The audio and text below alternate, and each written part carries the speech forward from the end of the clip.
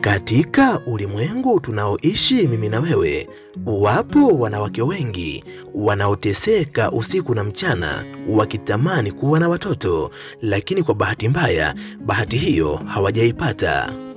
Wapo wanawake wengi waliojikuta wameharibu vizazi vyao kwa sababu ya tabia zao za kupenda kutoa mimba kila walipopata. Ni kwa sababu wanawake hawa hawakutamani kuitwa akina mama. Wao walitamani waendelee kubaki mabinti katika kipindi chote cha maisha yao.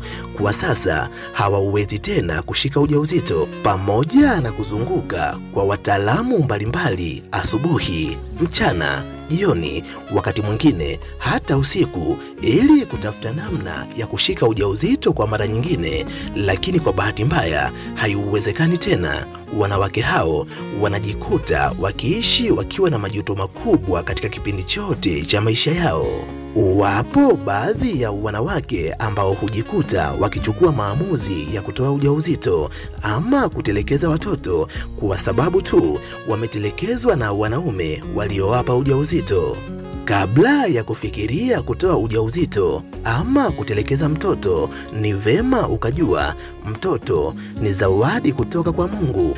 Wapo wanawake wengi wanaotamani kuwa na mtoto kama wewe, lakini kwa bahati mbaya hawajawahi kuipata bahati kama uliokuwa nayo wewe, na yauwezekana kamwe wasiipate bahati hiyo katika maisha yao yote.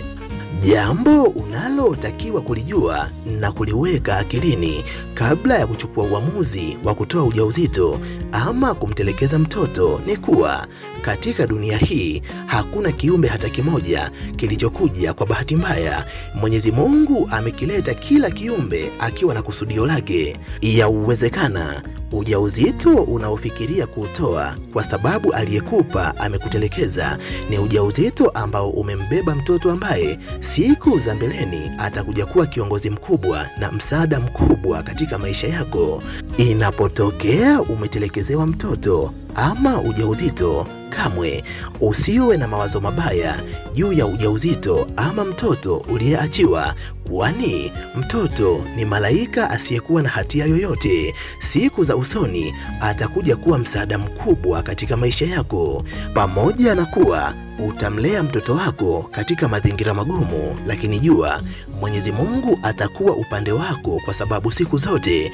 Mwenyezi Mungu huwa upande wa mwenye haki. Mtoto ambaye leo hii wewe unamuona kama mzigo, amini siku moja hautakuwa kama ulivyo, hautakuwa na nguvu tena, na huo ni wakati ambao mtoto wako atakubeba wewe kama mzigo, na huo utakuwa ni wakati sahihi wa mtoto wako kukuonesha upendo aliokuwa nao juu yako. Amini usiamini, haijalishi utamlea mtoto wako katika mazingira magumu kiasi gani, Mwenyezi Mungu atakuwa upande wako, na siku zote mtoto wako atakuwa akishuhudia upendo mkubwa unaompatia, na hata atakapokuja kuwa mtu mzima, ndani ya moyo wake kutakuwa na alama ya wino wa chuma ambayo utakuwa umeiweka wewe, na alama hiyo itakuwa imesimama badala ya upendo. Mtoto huyo atakutazama, atakuangalia, atakusaidia, na huyo aliyemtelekeza siku moja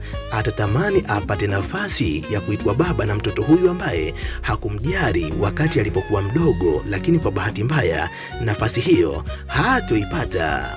Kabla ya kuhitimisha somo hili, naomba nikukumbushe, mtoto ni wako, lakini jukumu la malezi ya mtoto huyo halipo katika mikono yako, bali lipo katika mikono ya Mwenyezi Mungu. Amini usiamini, mtoto wako atakuwa. Kamwe usitoe ujauzito wala kumtelekeza mtoto wako, haijalishi unapitia mazingira magumu kiasi gani.